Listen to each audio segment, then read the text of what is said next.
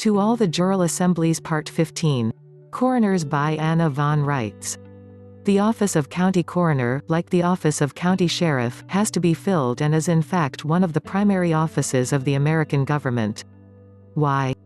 The coroner is the only public official who can remove a sitting governor from office. Strange, but true.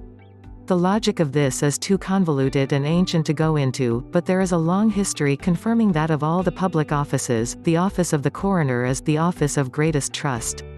This has in part to do with certification of whether or not people are alive or dead, and this is why when Britain and the Pope colluded to defraud our government in breach of trust, they conscripted and licensed all our doctors and nurses as uniformed officers, Territorial Federal Code Title 37. They then imposed upon the medical professionals with coercive force to participate in the infamous dead baby scheme. Our doctors are forced to certify the birth and death of human persons, what we call afterbirths, and to seize upon the expelled tissues and DNA, which the collaborators in the for-hire government register as unclaimed chattel property. In this way, the perpetrators lay a secretive and unconscionable commercial claim to our unique DNA. We are somewhat hampered in our efforts to put an end to these schemes and an end to these absurd and abusive commercial claim activities by the simple fact that all the doctors and nurses are being coerced to participate in this fraud under pain of losing their licenses and ability to earn a living.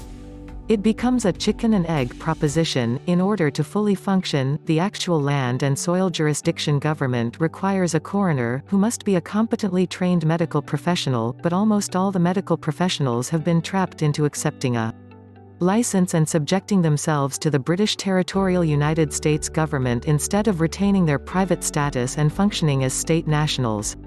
Thus, they wind up having to support a system they hate and which enslaves them, and most do not know that they have a choice and aren't actually required to have a license.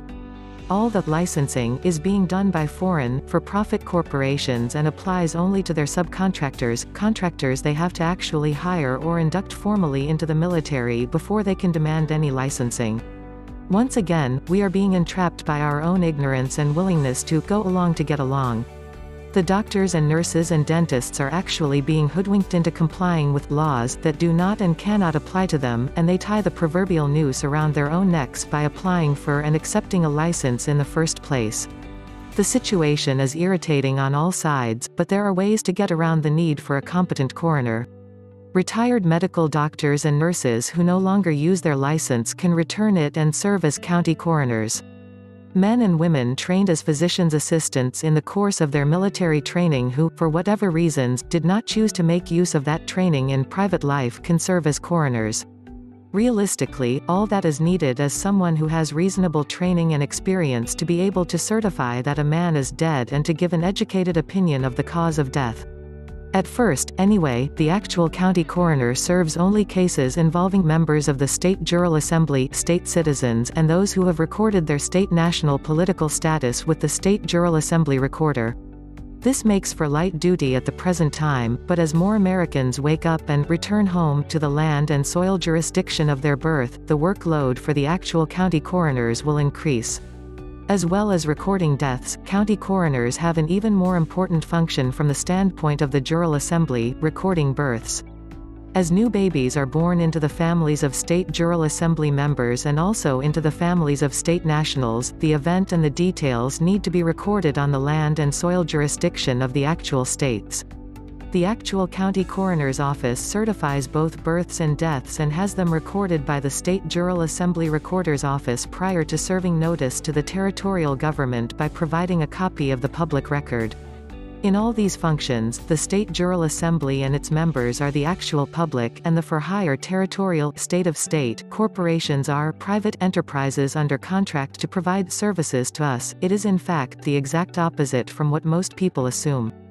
Most people assume that the for-hire corporations are the actual government, because they have been unknowingly conscripted into the foreign jurisdiction of these corporations, and subjected to their private law, so that these corporations which are merely providing governmental services appear to be the only actual government and their statutory law appears to be the only form of law.